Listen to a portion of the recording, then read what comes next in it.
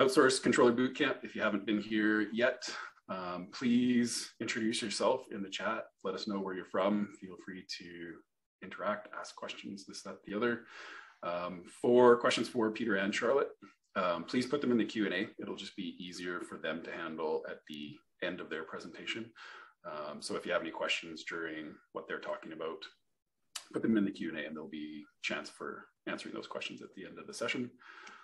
Um, this is an educational event, so we just wanted to let people know that we've got a bi-weekly masterclass that we put on called Cashflow Advisory Live. It's a community meetup. It's a place for people to kind of just hang out, talk about things. We usually put on a educational session and then talk about how our peers are handling it after that. It's actually been pretty neat. If you want some of the YouTube videos on that, just let us know and we can send those your way. Uh, we also have two education courses, one do it yourself and one active coaching, so that people will uh, can learn how to essentially build out cash flow advisory practices. Um, so with that all said, this is the last piece on, on our agenda, the last session.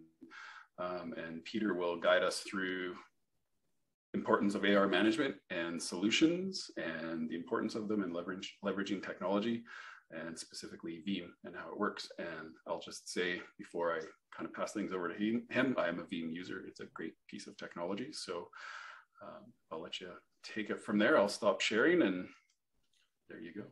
All right, great. Well, thanks so much for the introduction. And um, more importantly, thanks for inviting us to, to be a part of this uh, this boot camp. Um, this is exciting for us, and uh, you know we've been partners with Helm for for a while now, and uh, it's been uh, a great partnership. a lot of um, overlap in what we do and, and the types of customers that we serve, and uh, so we're we're thrilled to be a part of this. And um, last, I, I want to thank everyone for uh, for joining us today. So I'm excited to talk you through accounts receivable from from my perspective. Um, so with that in mind, uh, I might introduce myself in Veem first. So let me share my screen.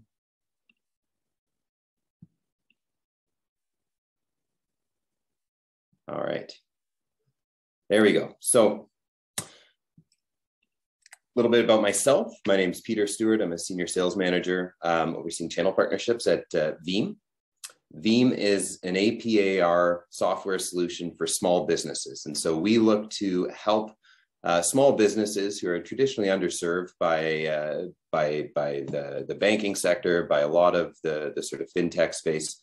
Um, we help them really optimize the way in which they handle their AP and AR processes while at the same time eliminating a lot of the costs that come along with that, uh, both in terms of, of fees and uh, licensing um, and and other aspects of AP and AR processes that could be costly. So that's what we do at Veem. Um, myself personally, you know, I'm, I'm really dedicated to to offering value-based solutions to our accounting and bookkeeping partners, and and more importantly to their clients. Uh, so we work with with our partners to introduce Veem as a solution to their clients, and we architect um, processes that uh, that allow Veem to automate aspects of their workflow. Um, when it comes to workflows, that's that's my uh, it's my preference. I'm a big fan of of understanding how accountants, bookkeepers, business owners how they uh, manage processes within the financial operations of of their company, and I look to find solutions uh, as far as their workflow goes. Uh, I've always had a passion for technology and so I've experienced uh, in the uh, physical physical security and life safety industry before um, moving over to fintech, um, where I've I've been uh, for about five years now working with Veem. And if there's a day where I'm not working, uh, I'll be out fishing, uh, either through the ice or on the water, uh, or or spending some time with my my four kids outdoors. All right, so what are we going to be looking at today? So um, we're going to be looking at very broadly um, what role you can have in terms of uh, supporting your clients and optimizing their AR process. Um, I'm going to talk specifically about the, the challenges um, as well as the, the solutions that we've identified at Veem through our efforts to, to build technology solutions that help small businesses streamline their processes for AP and AR. Um, so to that end, uh, I can tell you that I've spoken with hundreds of small businesses about the, the pain points that they experience around the management of their their AR, and and those pains are in many cases directly related to the business's cash flow management. And so um, that that's an intersection that that we're going to dig into here. Um, and with that perspective in mind, you know, I'm excited to be here today discussing AR, and and especially excited to be sharing my thoughts on how accountants and bookkeepers can really build deeper and more impactful relationships with their clients while supporting them um, in, in optimizing how they adapt their AR process to be aligned with, with their cash flow needs. All right, so why? Um, as I mentioned before, helping your clients improve their AR process assures that your firm uh, is delivering meaningful uh, and impactful um, uh, uh services and um, uh, advice to help them really optimize um, their their AR process. Uh, subsequently, it can allow you to introduce new revenue um, from new paid services, new client acquisition and referrals, uh, and and reselling new technology solutions uh, that you hadn't traditionally worked with as part of your firm's tech stack. So traditional receivables. What, what do you want to look for when evaluating the present state of your client's receivables process? Um, I think if you were to dissect any small business, you'd find a wide range of, of, of tools, processes. In a lot of cases, those will be antiquated. Um, they might be broken or, or resource intensive. Uh, so let's look at how you can really begin to, to dissect their AR process and what you want to look to when you're trying to evaluate it. So first, you know, let's look at how they're approving customers for credit terms, right? So um, with with within any AR, you're providing uh, payment terms to customers, uh, allowing them some measure of credit um, from your business. And essentially, there's there's no, I think, easier way for any business to get credit than to do so from a supplier. Um, and that's because most businesses do very little vetting of new customers. They're trying to balance risk and at the same time balance that against the desire to treat new customers like gold. Uh, and that's particularly the case in, in crowded and competitive markets. Um, some customers or some clients may have proprietary processes um, where they collect information from customers that support some sort of basic credit review. So you may have seen this before where a new customer is onboarded and there's there's some sort of form that's filled out um, providing basic information about their business to support perhaps a, a credit score review. Um, they may ask for references from, from other um, sellers, uh, can take a lot of different forms. Um, you also want to understand how they're managing credit approvals and limits, right? So if a customer is approved for a particular uh, credit limit that they can purchase against, does your client have the capacity to track that and manage it such that they're able to adjust it, perhaps increasing that credit limit over time with good payers. Uh, similarly, reducing it or restricting it um, for for bad payers, and and do customers have visibility into uh, their credit limit? Um, now we'll look at invoicing processes as well. Um, it's important to look at whether uh, they have automated any, uh, some or all aspects of generating and issuing invoices. There are a lot of technology tools to support that. Um, but I'm sure, as, as a lot of you have seen, um, many small businesses rely on um, fairly manual processes to generate um, and distribute their invoices. Um, so if it is manual, uh, if their process for creating those invoices for sharing them with customers is manual you know how flexible are their templates? Um, does it leave room for human error which i think you'll find is, is, is often the case? Um, so whether it's in terms of, of how purchases um, are, are itemized and priced in the document um, payment instructions due dates uh, there's a number of dynamic fields in an invoice that are going to change from each record to the next um, and so, where you have a manual process, you're opening the door uh, to human error, right? And and and we'll see that in any sort of business function where uh, you know, a manual process is dealing with data points that need to be precise. Um, and so invoicing is no exception. And where you have a manual process, you're invariably going to have um, risk of human error, which can lead to deficiencies, delayed payment, inaccurate payment, uh, confusion, and you know, added communication that didn't need to take place between uh, the buyer and the seller. It's important to also consider who's creating and sending these invoices. Um, so within many businesses, uh, you'll see salespeople creating invoices for their customers. Um, you might see an office manager tasked specifically with this, or, or the business owner themselves uh, may take care of it, or they might outsource it. Uh, they, they, they may push this towards their, their accountant, their bookkeeper, um, or, or even a third party um, and, and factor uh, their, their receivables um, through a, a, a, third party that's essentially going to buy them or finance against them.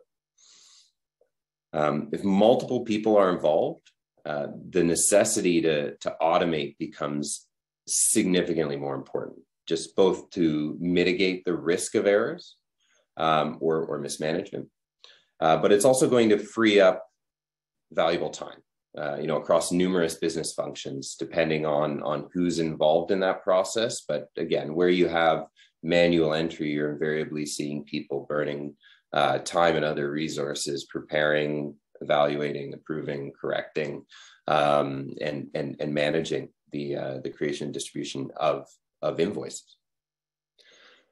Then last, there's there's a collections process too, um, right? So so I'm sure, as all of you know, uh, with within any AR process, um, there are going to be late um, and bad payers.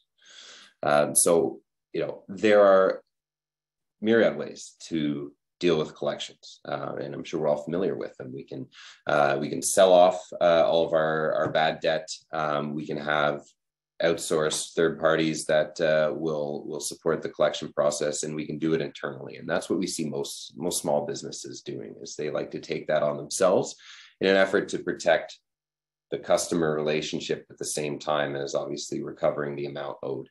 Um, and that presents some problems where um, you know the value that the relationship with that customer presents can sometimes uh, um, obscure uh, or uh, sort of muddy the waters when it comes to making an objective decision about how best to to collect uh, and how much pressure you want to apply as far as the the collections go.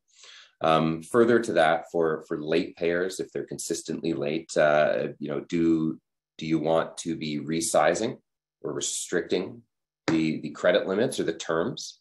So what that could look like is is a, a customer uh, may be late for payment and, and, and you may be required to restrict the amount uh, that they can order against on credit terms. Um, or you can potentially restrict the term. Uh, so the credit terms in, in terms of maybe reducing uh, payment term from uh, net 30 down to net 50 or net 15. Uh, and in some cases, you may you may want to transition the customer to to payment on delivery uh, of goods, taking them off credit terms uh, and providing a path for them to sort of restore their good standing uh, in your credit model, or perhaps to leave them consistently uh, on a different uh, credit basis. Um, it's important to look at also uh, whether they have any sort of leverage to support their collection. And so in different industries, there can be different levers you can pull uh, to support the, the collection. And, and one, one example that stands out to me uh, and one that I find particularly interesting is, is the wine and spirits industry. Um, so in many states across the US, there are these archaic laws that, that govern payment terms when it comes to distributors of, of, of wine and, and spirits, um, aimed at protecting their receivables. Um, so these are laws that were, were actually largely intended uh, to protect the interests of large distributors in the era, the era following uh, the end of prohibition. And, and I think uh, uh we all know who, who the, uh, the big players were in that industry at the time, and they carried a lot of weight and a lot of power. Um, we're talking about the mafia really um, and and so they were able to lobby state governments codify laws that that protected their receivables essentially requiring that uh, any sort of buyers retailers bars restaurants um, that don't pay their bills on time risk losing their liquor license altogether. Um, and so where you have, you know, a unique lever like that in a particular industry, you want to make sure that your customer is able to leverage that properly as part of their, their collections process. Um, you want to look at what is the overall cost of resources devoted to collections. That's, something you should be able to quantify. And if you can't, then I don't think there's a very efficient process around it. Um, but uh, whether you're doing it internally or, as I mentioned before, outsourcing uh, or selling your collections uh, to third parties, you should have a clear understanding uh, objectively of, of what the, the cost uh, of that is to the business's bottom line. Uh, and then obviously evaluating that cost allows you to really understand where you can optimize the process to, to minimize it. Um, payment methods are important as well with within any receivables process. And I think what you'll find is that your clients um, probably have not diversified a whole lot in this space. Um, but in, in terms of sort of evaluating the present state of their collections, um, you want to be looking at uh, you know where the money should be going um, what sort of burden there is on the customer and, and any sort of costs associated with that and so like i said as the landscape of payment methods for smbs continues to to expand um, quite rapidly right um, a lot of small businesses have really failed to keep pace with the variety of payment options that are out there and and and most importantly with those that are going to be the most attractive and or familiar uh, with their customers. Um, you know, I think it's it's a bit of a um, an archaic outlook uh, that a lot of businesses have, where they have a very rigid set of payment methods that they support. Um, but we're we're moving towards a space now where the decisions or the choices made around payment methods that are available to customers uh, is a decision that's made with the customer's satisfaction in mind as sort of the focal point. Um, and so, with that in mind, different industries, different types of goods, um, different types of sales may all necessitate different uh, combinations of payment methods, but an outlook on the customer, the payer's satisfaction and familiarity with a, a particular payment method should be a major focus in determining uh, what you offer. Um, not just strictly um, something that's most convenient to you as a receiver, most cost free um, to you as a receiver. There's a balance that should be struck there. And a lot of small business owners aren't really necessarily in tune with that. And so it's not, there's an opportunity there to really advise and open their eyes to um, the, the, the wealth of, of payment solutions that are out there that can be uh, presented to customers when you're invoicing right now, I think if you were to look at uh, you know 100 invoices generated by your your clients, you'd probably find about 90 to 95 percent of them contain very basic payment instructions that uh, lists their bank account. Says, "Hey, send an ACH payment to this bank account," or "Here's our address if you want to pay by check." Um, there's very little in the way of, of technology, and there's very little in the way of optionality for uh, for customers. So we can see where AR becomes a major variable that affects a business's cash flow. Um, so, how can a business better mitigate risk in this context and, and to help bridge cash flow gaps? Um, we'll look, sorry, I'm getting ahead of myself here. Right now, we're looking at just the state of small business in the US. So, um, just some basic uh, statistics here that help you understand the consequence of um, you know AR that's mismanaged. We see 1.5 percent of receivables being written off as bad debt, 93% of businesses experiencing frequent um, late payment from customers. And, and, and I mean, I, I think uh, you'd see that with almost all of your clients that have um, uh, receivables um, on terms. Uh, 47% of credit sales are paid late. Uh, and so this, this shows there's a trend uh, that can be observed, and it's pretty obvious where where buyers are often overextending their their uh, their suppliers, um, and and in many cases deliberately as a means to balance their own cash flow using their supplier as a bank. Um, average payment terms vary, um, but there's a delta between sort of the, the average payment terms and the average payment date. And again, that's where the greatest risk to cash flow management presents itself. Uh, because there's variability there that's unpredictable. Um, and so, wherever you can find the right levers to pull and the right mechanisms to rein in that late payment and provide greater control and certainty around uh, getting paid on time, then you're delivering a lot of value, not just in terms of a streamlined process, but in terms of cash flow management as well.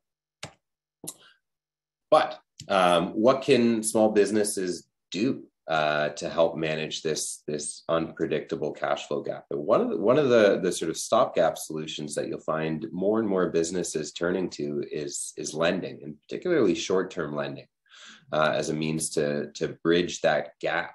Oops, um, in their uh, in their AR process, and you know we we see a lot of that within Veem. Um, we have clients that uh, you know have moved away from the traditional outlook on lending, uh, particularly short-term lending, towards one that uh, that embraces it as a way to shore up um, cash flow when there is, uh, you know, a heavy accounts receivable burden. Um, there are a wealth of technology solutions out there to support this as as well. Um, but uh, lending can often be a big part of the solution. Um, but at the same time, uh, SMBs often spend a considerable amount of time uh, and and resources as well trying to navigate uh, lending systems. And so I mentioned, you know, there are technology tools, there are other products that are being introduced with the aim of making it easier for small businesses to access working capital. Um, but when it comes to sort of the traditional um, means of, of, of acquiring um, uh, new capital, main, mainly through through traditional lenders like banks. Uh, you know, the process is is difficult for small businesses, and the cards are stacked against them. Uh, so, as I'm sure you know, many small businesses don't have the type of credit history that's going to uh, make them attractive uh, to many lenders. Um, they're forced to go through what are pretty cumbersome uh, bureaucratic processes uh, to put their applications in front of decision makers uh, to get them reviewed and approved. Um, a lot of uh, financial documentation is required, and that puts a burden on businesses that might not necessarily always um, have, uh, you know, pristine books uh, and and and pristine records. Um, and and there's a, a focus on very rigid um, indicators when evaluating uh, businesses for for credit, and those again aren't aren't often favorable to small businesses.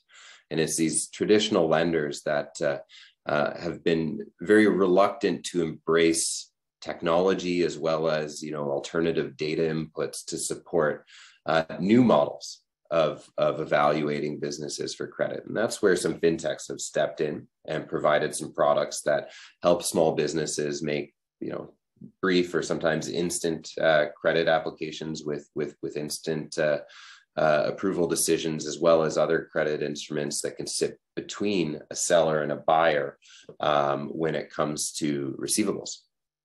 Um, you'll see some instances of businesses resorting, as I mentioned before, to factoring. Uh, so that might be a model where they uh, will sell their receivables to, to essentially bridge that gap. It doesn't quite qualify as financing um, because there there isn't necessarily a lending taking place, but uh, rather it's it's a means of, of taking open receivables uh, and, and outsourcing or selling uh, that receivable as an asset um, to a third party, a factor who's going to buy them at a discounted rate and then transfer the burden of collection onto themselves. Uh, and and that also carries a, a, um, a, transfer of the customer relationship to a certain extent.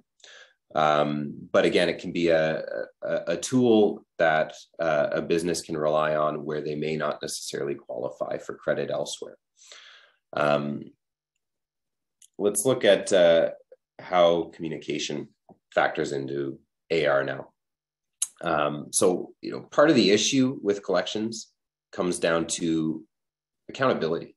Uh, so, so most most methods of payments and and collections, uh, you know, don't have proper processes uh, to enable uh, or to streamline uh, communication between the the customer and the vendor. especially as it relates to a particular invoice uh, or, or open credit that's that's owed.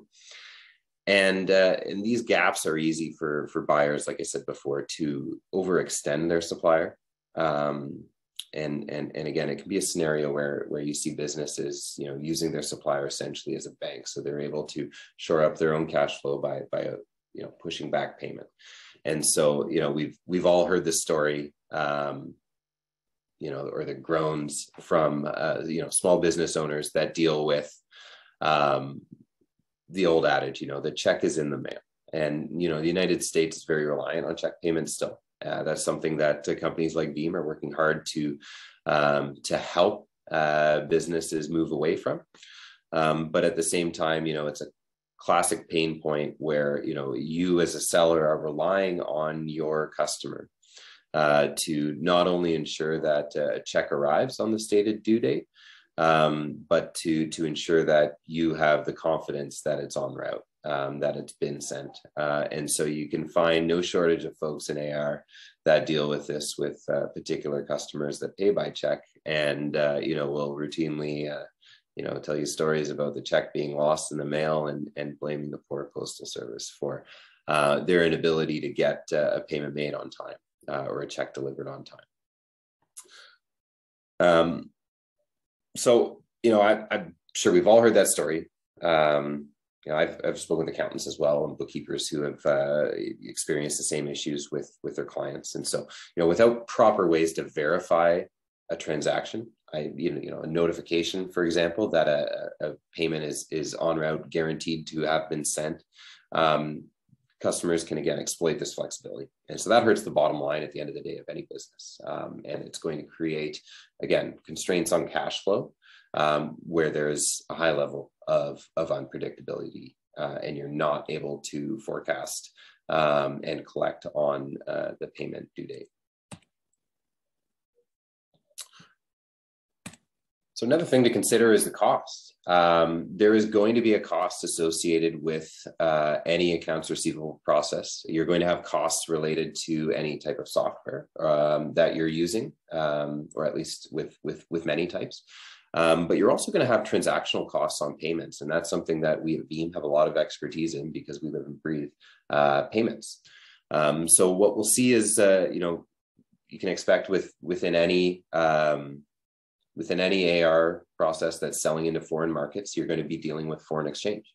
Um, so your clients may be selling into an overseas market, and the variability of foreign exchange rates, coupled with you know the commissions that are baked into a, a bank's foreign exchange rate. Excuse me. This means that the amount that you collect from a customer may vary um, from the expected payment amount uh, at the time of invoice, right? So you know we can we can go on Google today and we can search the the U.S. dollar and Canadian exchange rate, um, and I if if I go and check that rate a week from now, that's going to change. Um, so you need to be able to balance um, those uh, that rate variability as part of the AR process, um, and at the same time you want to manage those costs. So when it comes to foreign exchange, the cost that you can manage um, is the the commission. Um, so you want to be savvy about uh, the commission being taken out of any foreign exchange transaction by your bank or any third party. Uh, you know, Veem, just like any other uh, service that does foreign exchange, we do have that commission. We're we're transparent about it, and you know, you hope that other services, other institutions are equally as transparent about what that um, commission looks like and what that rate looks like uh, on any given um, exchange but that's not always the case. So it's important to understand what that cost is so that you can uh, account for that in terms of uh, evaluating the, the costs of your, your AR process. There are going to be other fees related to, to payments. So if, again, in the context of international payments, you'll see uh, landing fees often. Certain banks, particularly in Canada, uh, will impose uh, landing fees on wires that are, are settled from overseas payers. Um, you'll have intermediary fees where funds are deducted uh, by intermediary banks that are supporting the uh, the transmission of funds. Um, and depending on on whether they're collecting payment by credit card or, or some other payment methods, that you know there may be merchant fees uh, associated with with the processing of funds as well. And so all of this needs to be accounted for when you're establishing the, the, the cost of, uh, of, of, a particular AR process. Um, and similarly, you know, you should be prepared to advise on how uh, your client can best mitigate or minimize um, these fees and, and manage them um, so that, uh, you know, they, they're able to build that into the overall um, uh, management of their AR process. All right, so it's important to understand how best to advise on payment methods as well. You know, we touched on this earlier in that you know, a lot of businesses aren't necessarily um, aware of the best payment options uh, that they should be offering. And they're also not necessarily aware of what would be what makes for an attractive payment method um, to their customers. And, and to this point, optionality is key. Um, but there can still be some limiting factors. Um, you should ask the following questions. First, you know, what options should we provide customers? And should we accept payments sent by other means?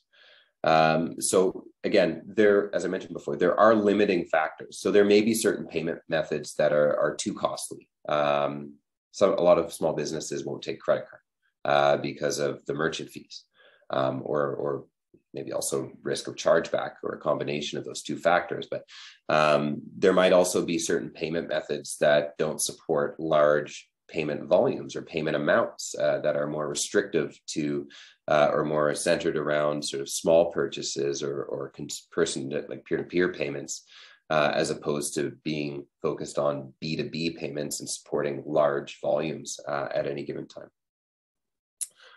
Um,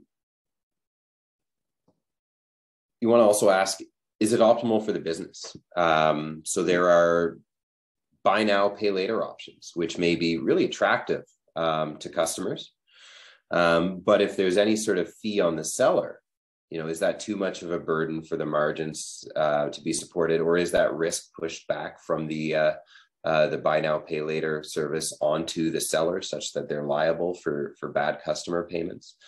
Um, you should also find out again what payment methods are attractive to the types of customers you're looking to attract and so depending on the industry depending on the sort of segment of customers that you're chasing you may be able to find out um, what payment methods are commonly supported by competitors. Uh, you may be able to uh, ask your customers themselves you know what uh, what payment methods are you looking for? Or you may find that uh, you, you you send out an invoice with your preferred payment methods listed on it, and you find a, a, customer paying you by some other means, and you may say, okay, well, we should adapt that, or we should adapt to this, and introduce this new payment method into uh, in, into the um, various methods that that we uh, we propose or that we uh, that we support as listed on our invoice.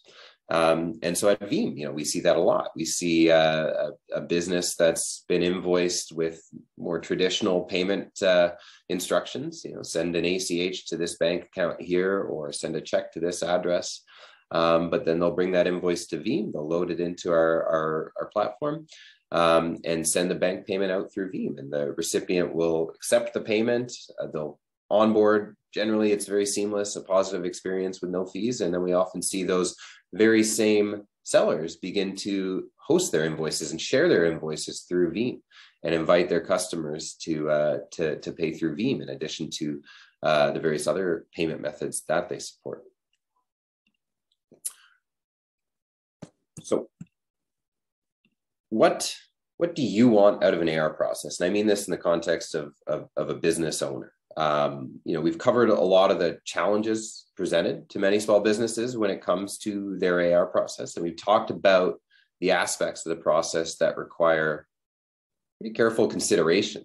Um, and so, if we bring these considerations together, we're left with really four key elements to a healthy AR system that should be the focal point of, of small businesses. So, if you want to, you know, come into a discussion with a client where you're evaluating their AR process, this should be the sort of checklist uh, of items that you're looking for for a healthy AR process. And, and, and where they're lacking, these are, these are I, I think, the key objectives that you want to work towards uh, in terms of adjusting um, your client's process. So automation and digitate, di- digitization with, with technology solutions is, is critical. And, and so there are a lot of ways you can go about this. And obviously, automation, digitization are big, broad, far reaching words. And so there are um, tools and processes that you can that help you automate very granular aspects of your AR process. You know, simple notific reminder notifications to um, your your your clients' customers um, can be as simple as as configuring. Uh, a workflow through uh, through through Gmail even um, to trigger those uh, those automations, or it can be more robust and complex. Uh, so at Veem, for example, um, we take uh, invoices generated from any external third party, host them within Veem, and distribute the invoices, providing whatever payment methods you want to attach to it, be it you know card, check, ACH, um, wire, virtual wallet, you name it. Um, there are uh, invoicing tools that will integrate with uh, inventory as well as you know sales platforms to automate the full process of creating the invoice, distributing it, updating your inventory records, um, and then ultimately marking the uh, the invoices paid when when the payment comes through. But um, anywhere along that sort of spectrum of automation and digitization, where you can sort of move the needle further towards uh, a greater level of automation, um, you're doing good work to support that client and, and really streamlining their process. So it should be um, a, goal of yours to advise your clients on, on how they can really bring more automation into that process. Um, not only is it going to streamline the process and and sort of reduce the resources and costs that go along with it, but but it also eliminates a lot of room for for human error. Um, so whether that's uh, the you know itemization, as I mentioned before, where, where you can see errors in terms of, of how items are, are notated and priced within an invoice, uh, or even more simple things about uh, you know putting in uh, your bank information for uh, for for payment. Um, there is a wealth of opportunity for human error given all the many variables that go into an invoice, right? You know, it's uh, uh, in addition to the itemization, the bank information, you have due dates, you have names, addresses, customer numbers, invoice IDs, all of that, um, which if left to a manual process, invariably is going to lead to, to errors. So automation is not only going to streamline your process and, and, make the, the machine of your AR system work better, but it's going to um, eliminate that risk that comes from all the myriad ways in which human error can factor into it uh, negatively. Um, you want to make sure there's that support for diversity of payment methods. Uh, you know, the key ones that I think most businesses should expect should be expected to offer uh, are, are bank payments, um, which can be supported just by providing bank information, like I said, and, and instructing customers to pay uh, through their, their their bank, either you know an ACH payment or if they're international, a, a, wire payment. But it can also be supported through technology products, and and so Veem is one of those, but there are many others out there like Veem uh, that allow a business to use software uh, to originate and track bank payments. Um, and so, you know, Veem again fits into that equation. And if you were to um, look at all the solutions that are out there, you'd find a plethora that that can support this in different ways for different types of businesses. Um, digital payments can be supported in a number of ways. You know, we're all familiar with PayPal and seeing um, uh, PayPal listed as an option on invoices. Um, there are other types of virtual wallets um, that can uh, that can support um, uh, sort of virtual payment. Um, card payment is is an important one, uh, as I mentioned before, and I'm sure as all of you know, uh, a lot of small businesses are reluctant um, to offer card payment. Uh, carries obviously a hefty merchant fee, usually around three percent, uh, but also the risk of chargebacks, which, um, you know, if you've ever navigated that process of, of, challenging a chargeback, it's very much in favor of the, the buyer. Uh, puts a huge burden on, um, on, on the seller.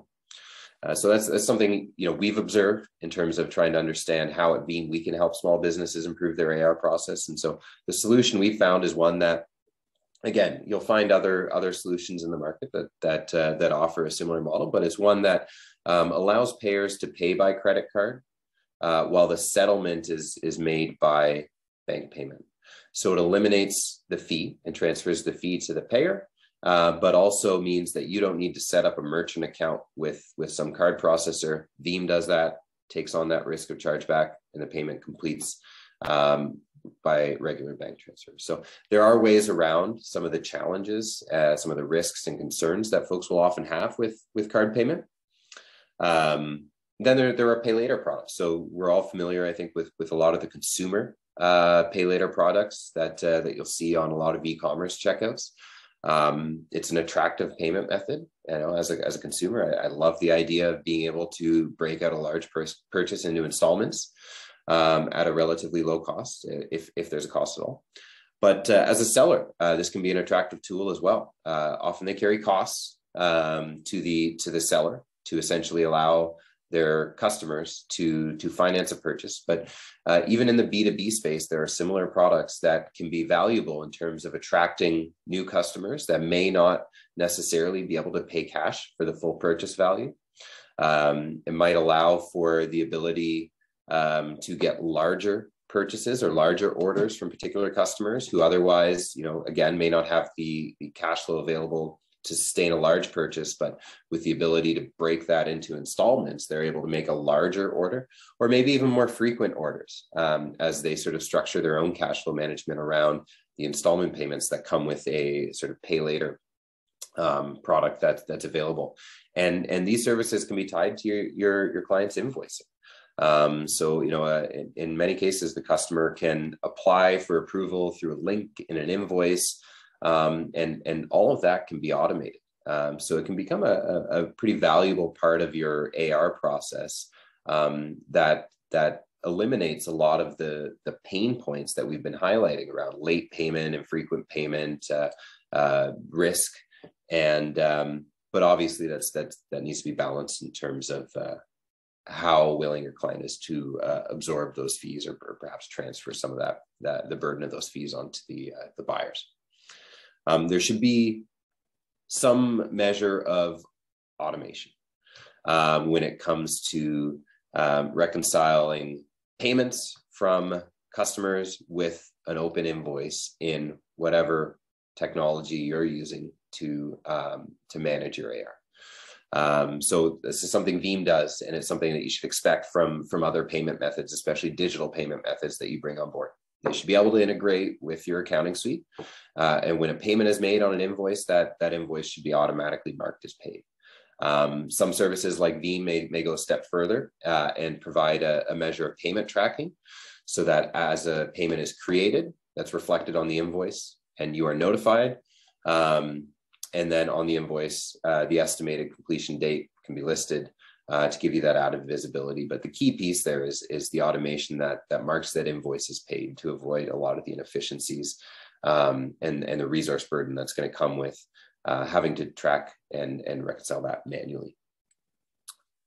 Bonus points as well if the service is able to help the customer, the buyer, automate their payment. Um, so you can uh, find solutions that will allow your customers to automate, uh, let's say, a recurring payment if they have a consistent receivable or a consistent payable uh, to be made to your client's business. Uh, or, or, or, perhaps one where they can schedule a payment to be automatically pulled from them on the payment or on the invoice's due date.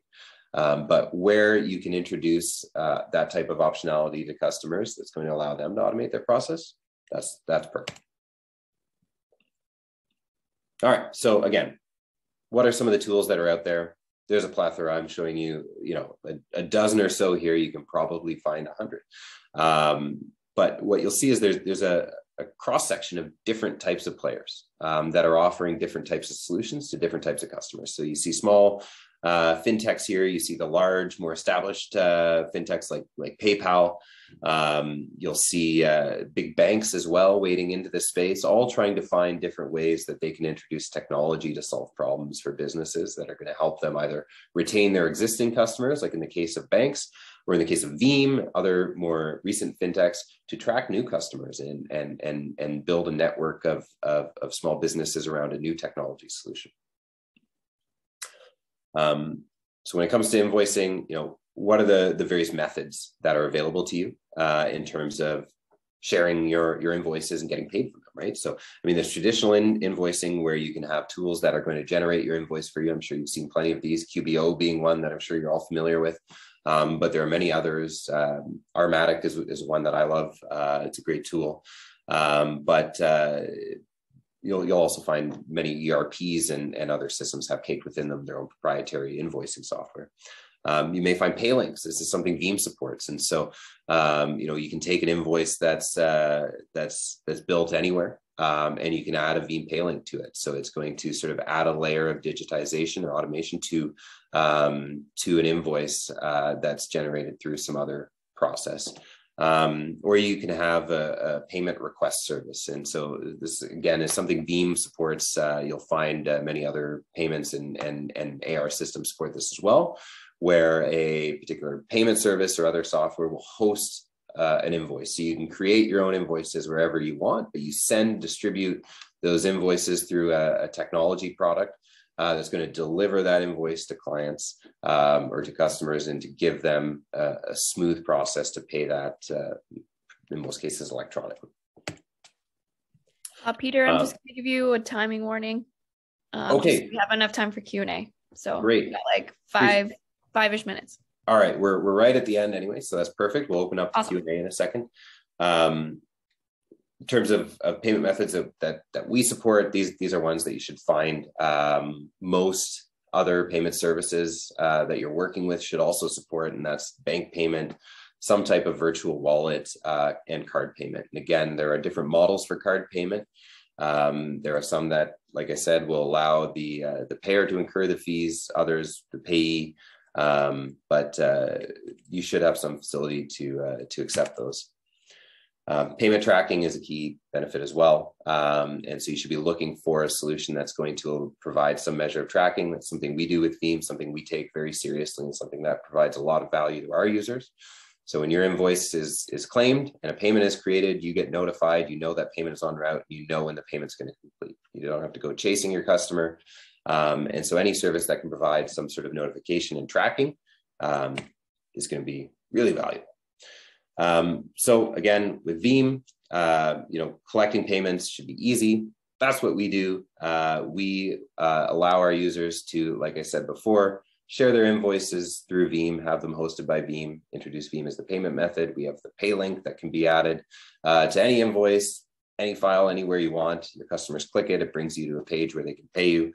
Um, and we provide a, a whole range of uh, visibility tools that allow any organization from one person to 100 to be able to manage um, AR processes of any complexity with, with minimal fees. But um, I'm going to cruise through the uh, end of this to allow enough time for a Q&A. Um, so I want to thank you again for, for joining us today and would love to uh, uh, open up the floor to any questions. Uh, my colleague Charlotte, uh, who oversees our marketing here at Veem, has been uh, keeping track of any questions from the chat. So, Charlotte, uh, if there are any, I'd like to. Yeah. Um, so I'll start it off here, but please continue typing it in if you guys have any additional questions. Um, Mark is asking if you can el- elaborate on how you can pass the credit card fee onto the client and how that works. Yeah, yeah. So essentially, there, there there's a model in which a third-party payment service like Veem um, can essentially function as the merchant of record on a payment, such that you know if if let's say you invoice a, a, a client uh, through Veem and they select credit card as their preferred funding method, we're going to be the merchant of record. So uh, we're going to be processing the credit card payment. And then within our product, we give um, our users the option uh, so if they're invoicing through Veem, they can say, hey, I want to incur that fee. That Veem's fee is 3%. So I want to incur that fee. Um, or I want to pass that on to my customer. So the customer, when they're making that card payment, will be shown a, um, a screen that tells them, hey, you know, you're paying this amount from your card. Um, you'll be incurring this fee. And it's a great way for small businesses that are, again, are reluctant to offer card payment to do so in a way that transfers that cost to their customers. So they can very openly say, hey, if you do want to pay by card, I have a payment method. This is what the cost is going to be to you. Here's how you go about doing so. And so that's that, that's how Veem operates. But you'll find other uh, payment services that that similarly uh, support uh, card payments under a similar model. So a follow up question to that. Um, so does that migrate migrate uh, chargeback risks? And are you allowed to pass that on to a client in Canada? So, so right now we don't do card payments in Canada. Uh, so, so Veem is uh, is doing card payments in the United States. Uh, we do a lot of vetting um, of businesses through automated security tools as they're coming in, and so that allows us to really mitigate a lot of uh, risks. Um, I, I, I I'll admittedly tell you I don't know all the ins and outs of our chargeback policy, but generally it's uh, assumed by Veem as the merchant of record. Um, but we do look to uh, the recipient to uh, to help support us in the effort to collect uh, funds from a uh, or, or, to challenge a chargeback um, if that's the case. Awesome. Was there any additional questions about the credit card fee or any other questions you guys want to ask? Well, we got Peter here.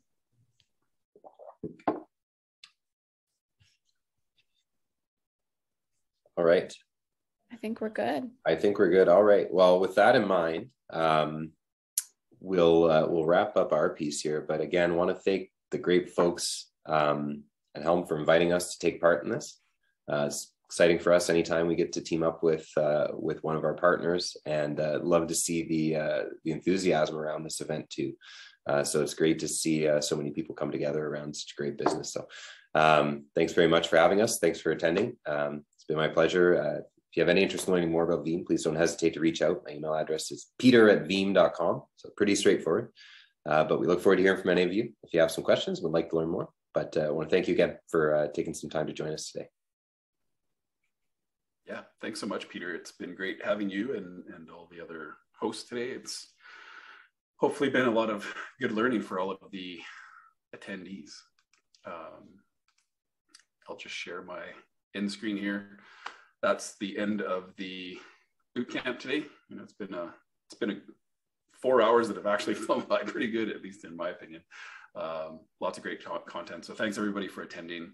Um, we really hope you found these sessions extremely valuable. And if you have any questions about any of the content, whether it's Veem, Peter, and Charlotte, or Kelly Parks, or Mark Wickersham, or ourselves here at Helm, please reach out to us and we can give you any information that you need or point you in the right direction. So thank you everybody for attending and we'll call that the end.